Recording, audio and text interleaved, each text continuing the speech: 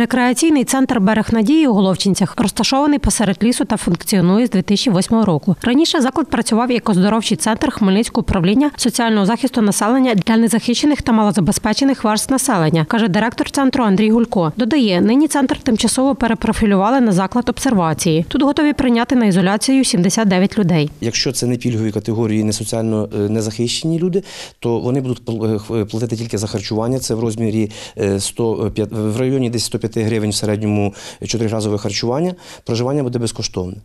От е, якщо це люди е, верств незахищених, тобто е, особи з особливими потребами, люди пільгових категорій, всі ті будуть харчуватися і проживати безпосередньо за рахунок Хмельницької міської ради. Медичний персонал повністю забезпечений усім необхідним на тиждень безперебійної роботи, каже медсестра рекреаційного центру Ольга Саволюк. Додає, у комунальній аптеці зарезервовано на потреби центру медичних засобів ще на три тижні. Ми оснащені і засобами індивідуального захисту, тобто маски, рукавички, є дезінфікуючі засоби для обробки рук, для обробки інвентаря, для обробки підлоги і так далі поверхонь. У нас будуть люди здорові, практично здорові, в яких не повинно бути ніяких ознак.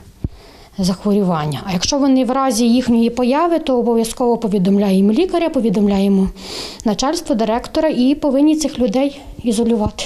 У центрі обладнали ізоляційний бокс з двома кімнатами з окремим виходом, санвузлом та всім необхідним для тимчасового перебування на карантині, додає директор закладу Андрій Гулько. Якщо в разі е, медичний персонал виявить будь-які з ознак е, можливих захворювань, відразу е, того пацієнта, скажімо так, чи відпочиваючого обсервації, буде поміщено ізоляційний блок, де він буде ну, проводити максимально короткий термін часу в зв'язку з тим, що відразу буде повідомлятися, скажімо, управління охорони здоров'я міста Хмельницького, і за ним відправляють відразу швидку допомогу, які будуть транспортувати їх потім в інфекційну лікарню міста Хмельницького.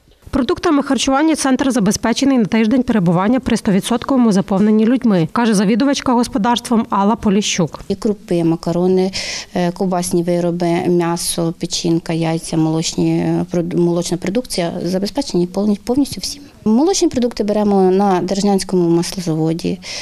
Е, Продукцію круп'яну, овочі, фрукти е, беремо в е, поставщика в Летичеві.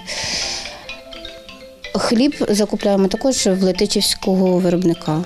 Зараз у центрі працює 17 осіб. Якщо ось усі 79 місць на обсервації будуть заповнені, місто додатково забезпечить центр трьома лікарями і трьома медсестрами для цілодобового чергування, каже Андрій Гулько. Та кількість працівників, які в мене зараз є, вона достатня для забезпечення належних е, умов проживання, тобто і харчування, і проживання. Просто медичний персонал у нас е, трошки скорочений штат е, в зв'язку з тим, що не було такої необхідності цілодобового спостереження лікарів і медичних сестер. Андрій Гулько додає, частину приміщення рекреаційного центру утеплюють ззовні та очікують документи на передачу їм ще двох корпусів табору Чайка, лікувального та скритим басейном.